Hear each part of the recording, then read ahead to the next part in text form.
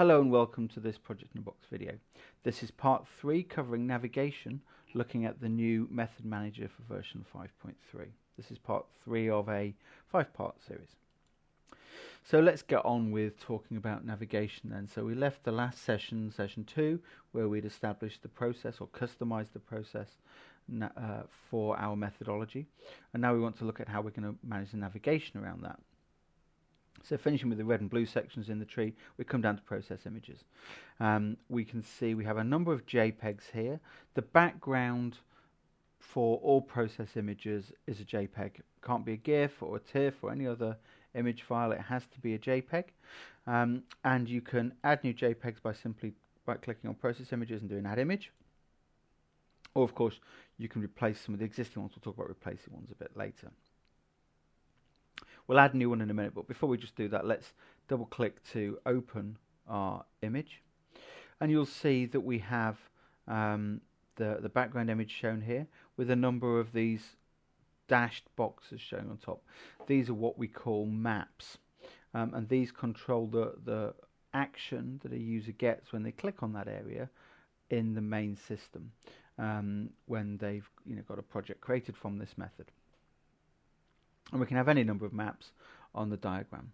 Um, when you build up quite a complicated structure of a diagram like this, um, you sometimes want to copy it, the whole thing, rather than setting it up again a second time. And that's because sometimes we try and have consistency between the, the diagram we see in the Windows application and the diagram we see in the browser. And sometimes they do have to be pretty much the same for consistency, but they have to have slight differences in them because not all the functionality that's available in the Windows application that you might want to put in your diagram is available in the browser. So there'll need to be subtle differences from the two. Rather than having to set them all up to be identical, like I say, you might want to copy one. So you can do that by right-clicking on an existing diagram and doing duplicate copy. And that will, Method Manager will create a duplicate set of mappings for you and also a duplicate named image as well in the images folder of the method template. So it's establishing again all of those materials that you'll need when you finally upload it. And then you can personalize A, the image, um, and B, the, of course, the maps for that. Of course, sometimes we're taking images out as well, so we might be using delete image to take an image away.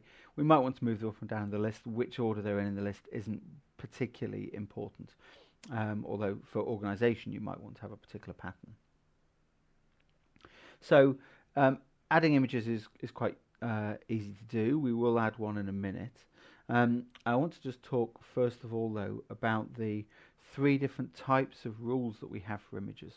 So when we open our project in the main application, uh, it opens with a certain image and it has to know which of the images to show.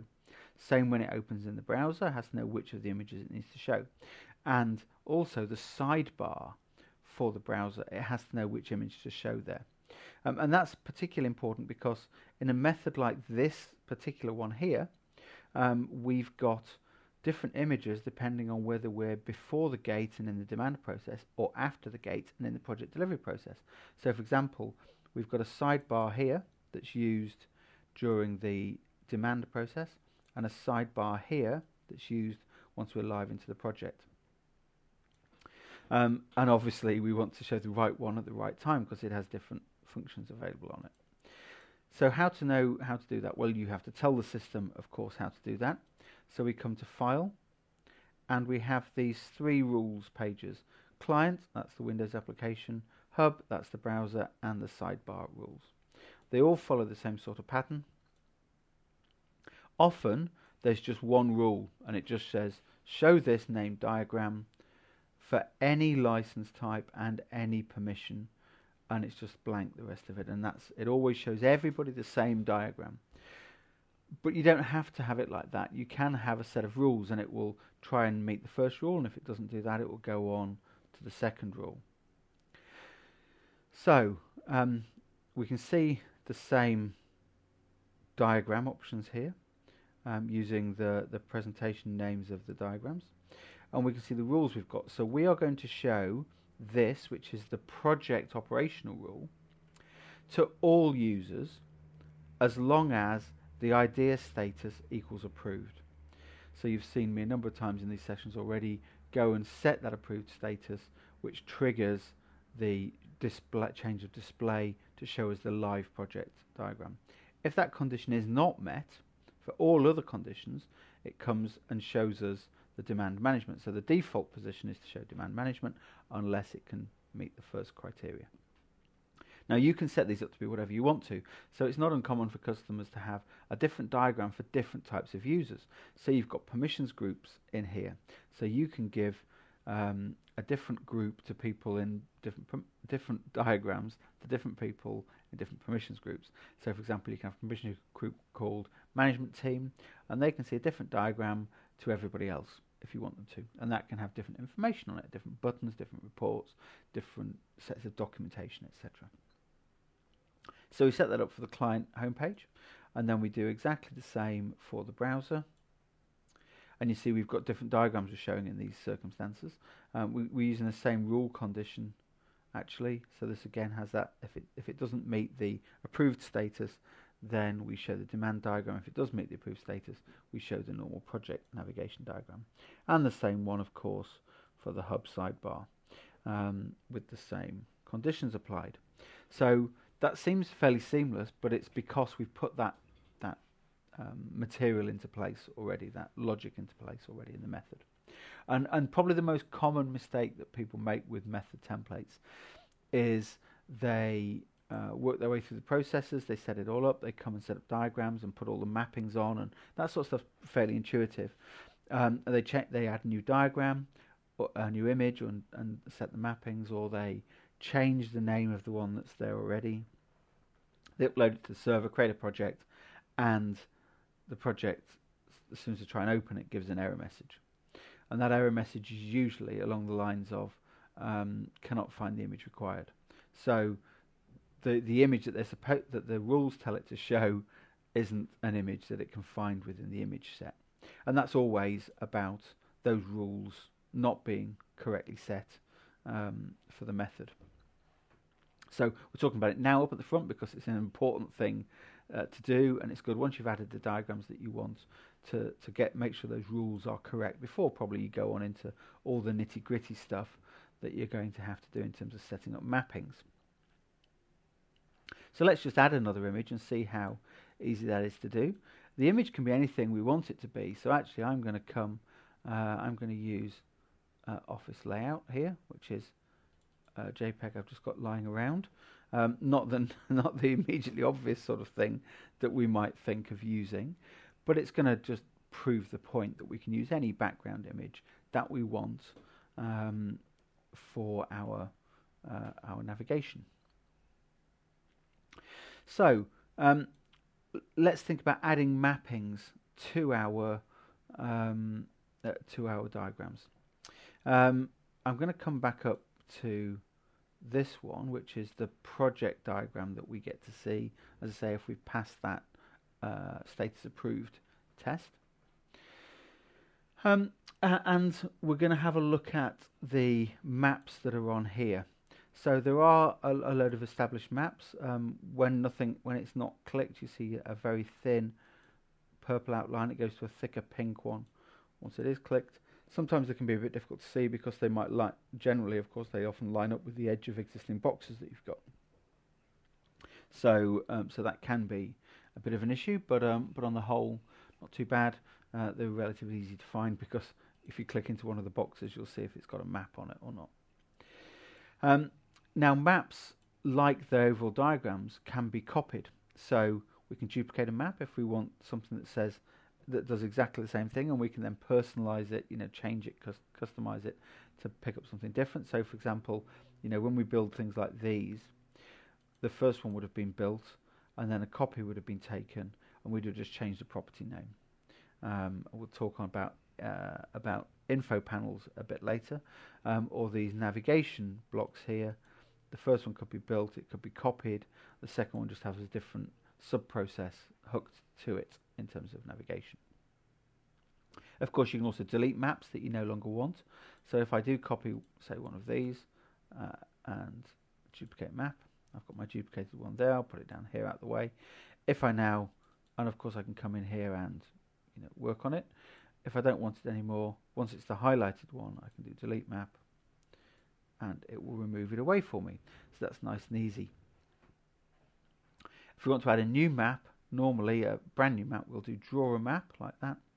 And then you'll see the cursor changes to this crosshairs and we can draw on the map size that we want. It's always a rectangle.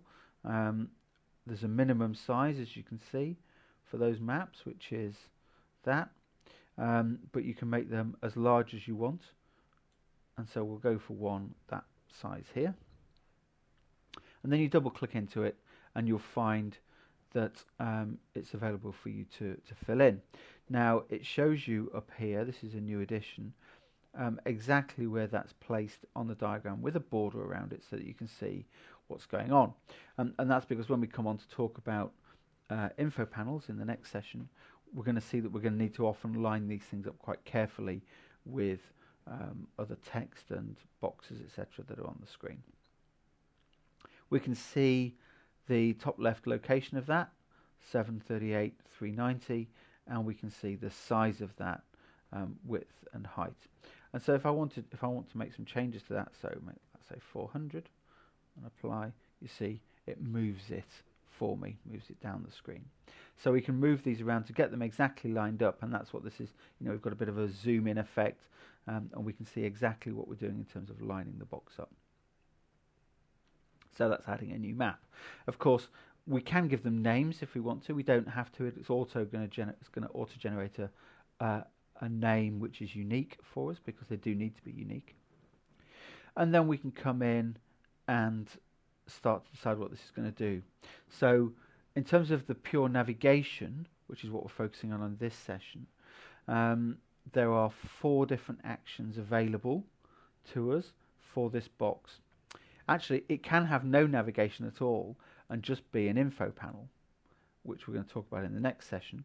But in this case, we're going to look at and in fact it can be an info panel and have navigation but for the moment we're just going to talk about um, about navigation so four different types the first type is image and it allows you to jump from the image that you're currently looking at to one of the other images here and we use this quite commonly for uh, giving users the feel of drilling down into further detail um, they move from one background diagram to a different one with different mappings on it so if we select image, we then need to select the value for that action, and that will of course be from the images list. And I can use um, my new one that I've added, Office Layout here,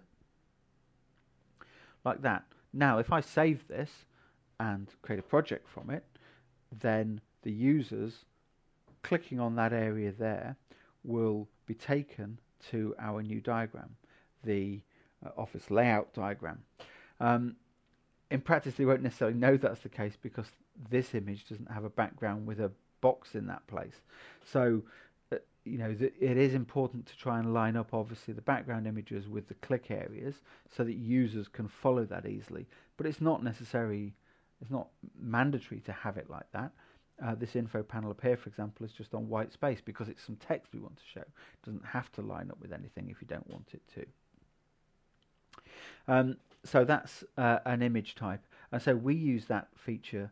So for example, here, you see this is an image type link and it's linking to the admin diagram. If we go and look at the admin diagram, like this, it's set up so that it's exactly the same size, it's got the same header and arrangement, and it looks like it just, it looks like a, a sort of website change, you know, or something like that, where you click on um, something and the content changes but the, the circumstances around it don't. So the header is all the same. You get new content, you click on this one, it's going to take you back to the original diagram. So we've got a sort of forward-backward mechanism working around two different diagrams that are exactly the same physical size, um, but they have different content in. And in fact, we can come back here to look at that. We see we jump to that one, we jump back to that one. And that's just how that process works. Um, and that's that's pretty um, straightforward um, and intuitive for users. Um, and obviously, what you write on these forms is important here. Um, now, when we're making navigation changes, I, I was very uh, clear in the process step that you shouldn't be changing process names because process names are only set up, uh, sub-process names, etc., that for that structure are only defined for the project at the point you create the project, um, never used again. The navigation instructions are used live, so when we go to the main system and open the project, it goes to the method template and it says follows the rules about which diagram it should give me, and then um, it lays out what the diagram should do depending on the mappings, and uh, and then follows those instructions. So actually, you can check, you can add new things like this, an extra diagram, and some changes of buttons like that. Um, to existing projects just by changing the current method. Next time you select the project, it'll use that new version of the method. It'll have the new diagrams and the new links in there to enable you to jump around. As long as you don't add any new process steps, you can add new links to the same process steps. That's not a problem. But what you can't do is add new sub-processes to the method. So these sort of changes that we're making here can work you know, live onto existing projects as well as new projects. Whereas the stuff we did in navigation earlier, uh, sorry, in process earlier, was all about just the new project, the next project that you create. So that's our um, uh, image type of map. The next one we're going to look at is explore, and we've got quite a few of those here. Um, so the action is explore, and the value is it takes me to one of my previously defined process sub-process combinations. In this project, we've got the ones that we know about already, include our include our new one, review meeting, and we can go to one of those combinations. So it's about pointing people at that set of documentation. And obviously, each of these will point at a different set. When I say obviously, I mean that's that's what it's set up to do. You don't have to do that, of course. You can do whatever you want to, but uh, but it is set up like that. And sometimes to to match the shape of the space, you might need to do something a little bit clever. So this has got there are three different boxes pointing to manage stage here. This one, manage stage. This one is also pointing to manage stage, as is this one here be, so that this one can be a sort of simpler box over the top. Um, because there's nothing to stop you overlapping your your mappings, um, the system will try and interpret what it should give you based on what happens. uh, perhaps which which one came first um, is the most likely way it works. Uh, so a good idea is not to overlap them because it's it's obviously not entirely predictable to the user or to you even as you set them up which result you're going to get when you overlap them. So we try not to overlap if possible. The difference to that would be these info panels where these are not clickable, they're just showing content and so they can overlap absolutely fine. It's when the clickable actions for navigation overlap that you've got a potential issue. So let's go and add some new ones of those. We're going to add it to our new diagram that we've just added, the office layout here. Um, so let's do draw a new map. We'll come up here and we'll say the action is explore and we're going to take people to our review meeting. There we go. It's pretty straightforward. Uh, like I say, you can have as many of these as we want to. So over here we could have one that takes people to uh, the uh, closing a project, content, like that. And of course we could have a map which takes us back to uh, an image type map, which takes us back to our main navigation diagram that we want. Okay, so adding those maps pretty straightforward. Next type of map we've got is a shortcut map. Now this doesn't take you to a piece of content in the system or a new image. It takes you to um, a, an external location that's specified by a hyperlink. So when we click shortcut, you see it says shortcuts are stored in the library folder and it gives me a list of all the URL shortcuts that are in the library folder currently. I can choose the one I want and that box when somebody clicks on it will now go and open their browser and take them to that URL destination. This is used for linking people to guidance materials quite commonly or to other web-based systems. Um, of course, if you want to set that up, you'll need to come to your method template, go to the library, add the shortcut as a shortcut link here so it's pickable in the form. So you do have to think about your shortcuts in advance and set them up here. Um, it doesn't work if you use the shortcut as the shortcut name. So you can't have you know, www.google.com as the as the file name. Um, it doesn't like that at all. It has to be a sort of sensible, meaningful, descriptive type name. So they're pretty straightforward, and often most methods will have one or two, just guiding people back to a central guidance point. You can be much more specific about that, of course, um, as we are in some of our methods. Like the Praxis framework has a large number of those taking you to particular parts of the Praxis website for guidance materials. So let's look at the fourth type here. And this one is um, is quite an interesting one. It's client menu item.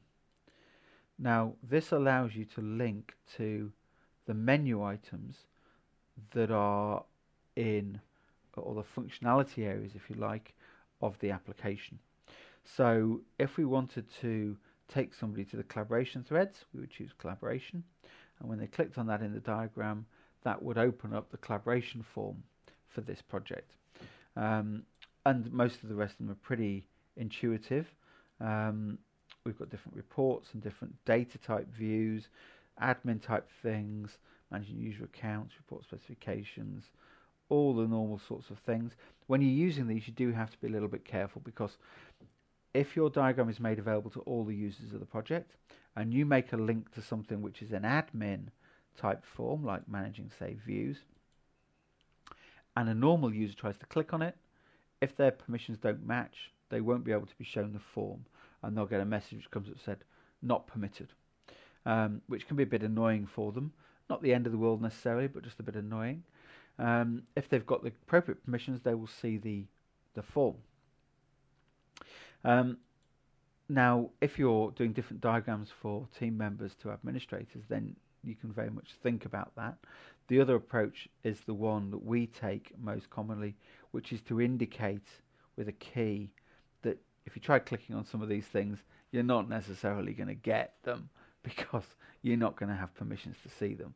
So this one, for example, is set up to take me to my tasks, not all the tasks, because to get to all the tasks, you'd have to have modify permissions. So we show the my tasks so every user can see that. When it comes to running reports, um, updating properties, going to admin facilities, um, those require a higher level of permission, and so we indicate that to the users just to manage expectations, and we don't want them. You know, so then when they get a a message coming up saying not permitted, they've got some idea why that might be the case. So that's that's an important aspect to think about when we're setting up managing saved views. The other asp- the other three navigation types available to everybody. Everybody sees the same thing, um, but not uh, with the client menu items. Now, client menu items list here is set up for the Windows application primarily. Um, many of these, the same code will work for either the browser interface or the Windows application. Some of them, um, the brow- if you're unsure though, the browser application, what you do is you use the name of the page. So um, this is the Explorer page. So if you type in Explorer, you'll get Explorer. If you go to a bit of menu like the tasks, list, you can use tasks and that will bring you to here. Um, and that's the case for all the other items as well. Um, so they're fairly easy to set up. Like I say, sometimes there's a slight discrepancy between what's on the Windows application and the browser, so you may need sometimes, depending on what you've put on your diagrams, you might need to have two different diagrams, one for each interface. Um, so that's those four different types of um, of linkage, of navigation linkage. Um, and like I say, they're pretty straightforward to set up. The more complicated thing is info panels, which we're going to do in the next session. Um, but these ones are fairly straightforward. Um, one particular thing I wanted to then talk about was how you replace images, because often people work, so I'm saving my method here, often people work with a um, a a sort of temporary image to start off with. You might view this as a temporary image, but then you might want to change it into a proper finalized, nicely designed image. So there, there isn't a replace image facility within directly within Method Manager, but there is a really good way of doing it. So what we do is we save and close Method Manager because these images are essentially held by Method Manager when it's still open. And we can come to the folder which contains our images here and you'll see it's now got our office layout in here. Now, if I replace this image with a new one of exactly the same size with the same name and reopen Method Manager, it will have it will be just showing me the background of that new one, and that's the one that will be loaded up and used by the system when we create our projects and want to navigate them in the in the main system. So that's a pretty straightforward thing to do. Obviously, it's important to check the sizes of these because if it's a different size, so we can see the size of this one in pixels. If it's a different size, then um, all the boxes will have moved slightly. So commonly, when you're building your methods, you have you know graphics package where you've drawn your diagrams. You keep those because if you want to change it later, maybe something as simple as just changing the logo that you're using um, for a new company logo when it gets rebranded, or slightly rejigging the color schemes. You've got the original diagram you can just change, modify slightly the bits that you want, produce a new JPEG, and you've got that then there to drop straight in. And you're not having to remap or move around all the buttons again and again. These normal diagrams can be whatever size you want them to be actually, and it will try and scale them appropriately to fit the page. If you're working in a browser, and most people's laptops these days are a particular aspect ratio, um, you want to use something that fits nicely into that. The Windows application, you can of course um, move your diagrams around, so you can make them as big or as small as you want. Um, so the size and arrangement, or it doesn't particularly matter because you can move it around. In the browser, though, like I say, you're going to want generally to try and fit that space. So we've gone into a format which broadly fits that type of space, and we use the same one for both. The sidebar, though, here does have to be a particular size because it has to fit in that space there.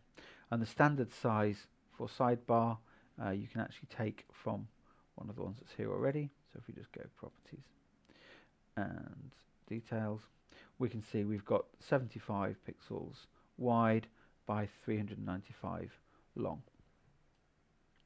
Um, and all sidebars need to be that same size. Within that size, you can do anything you want to with them, and of course, you can set up mappings in them, just like we do in the other diagrams. They're exact diagrams exactly the same. They operate in the same way. You click on something, it will drive that functionality for you, of obviously only in the browser interface. Um, okay, so that's talked about the sort of simple navigation. Um, what we're going to talk about now uh, in the next session, uh, that's session four, is info panels. That's displaying our active content from properties through onto our diagrams. Okay, I hope you found that helpful. Thank you.